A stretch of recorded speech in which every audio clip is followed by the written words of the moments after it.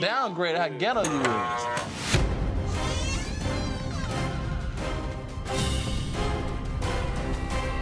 Oh! oh! We missed you! Oh! Don't even do the We missed you! We missed you! That's the inner Nebraska. What's going on, man? Where the you been at, man? Damn, why you look man? It feels a little weird to be back because I know a lot of pressure's on me and everyone wants to know what Phor's been up to. But it feels good at the same time because these are the people that I love and, you know, these are the people I started this thing with.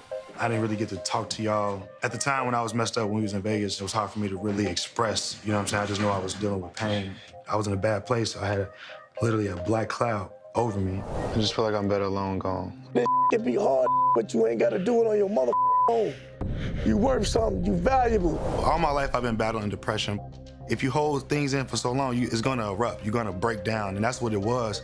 I was trying to be so strong to not let anyone down, and I wasn't strong enough for myself. I think I took the right step, which was speaking up on it, letting my friends know that something is wrong. I just want to apologize for moving around at a time when we was trying to put this thing back together. I don't ever want y'all to feel like I stormed out and just said y'all. But I had to put myself first in that situation in order to move forward and make it better for everybody else. I was still juggling, trying to satisfy everybody else to the point where I reached my breaking point. You know what I'm saying? I was up. You know, and I want to move forward and uh, just want to continue with my family. As long as you good, that's all that I care about. I know that's all we care about. So I don't accept your apology because I'm not owed one.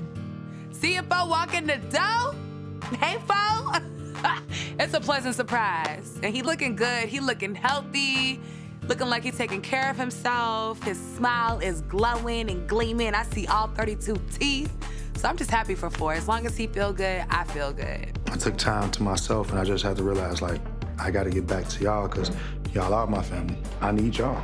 It's just good to see Phor, period. Knowing where he's been and knowing what he's been going through. You know what I mean? I- I've been in support of him, but I've had to do it from afar, you know, and to see him take his time to want to come back in, you know, that's just let me know he's getting somewhere. Are you back for good? Yeah. Yes! Yeah, man, we Right. back, baby. Right, right.